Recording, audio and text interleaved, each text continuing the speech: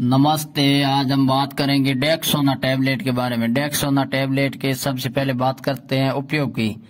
तो डेक्सोना टैबलेट का उपयोग शरीर में किसी भी प्रकार के एलर्जी है तो आप डेक्सोना टैबलेट का उपयोग कर सकते हैं। किसी भी खाने पीने की वजह से शरीर में किसी भी हिंसे में किसी भी प्रकार की एलर्जी है तो आप डेक्सोना टैबलेट का उपयोग कर सकते हैं। साथ ही आपको तवसा पर एलर्जी है, स्किन पर एलर्जी है, हाथ, पैर में किसी भी हिंसे में, कमर के पीछे, शरीर के पीछे के हिंसे में, गर्दन में किसी भी प्रकार की आपको एलर्जी है तो आप डेक्सोना टैबलेट का उपयोग कर सकते हैं।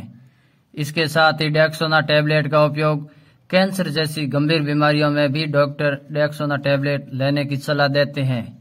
अब बात करते हैं डेक्सोना टैबलेट की कीमत के बारे में तो ये बहुत ही सस्ती टेबलेट है, आपको मार्केट में आसानी से अलग अलग पैकिंग में मिलती है। दस की पैकिंग ड्रिफ्ट आती है, बीस की, तीस की अलग अलग प्राइस में लगभग बहुत ही सस्ती टेबलेट है।